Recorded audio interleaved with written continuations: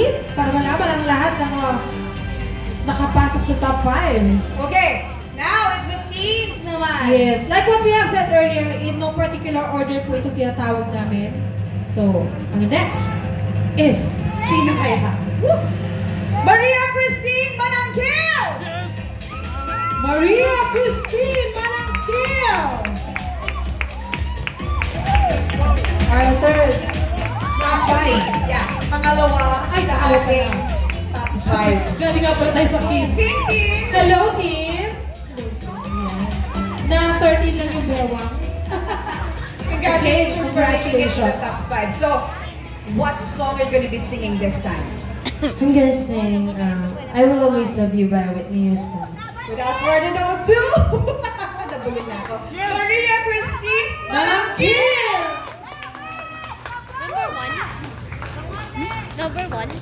Pangalawa. Teens.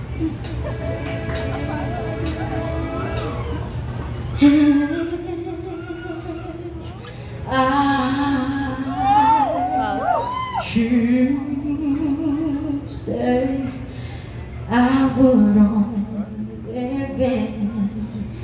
be your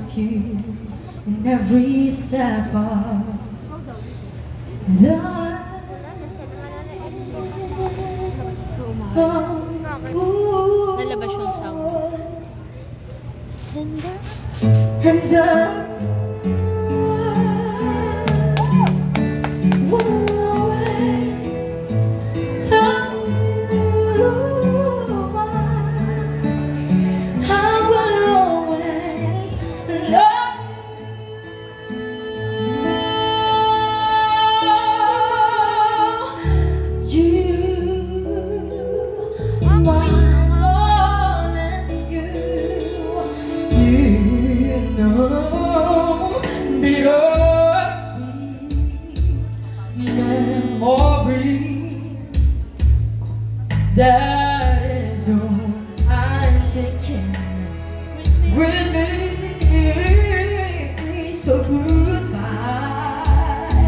Please don't cry.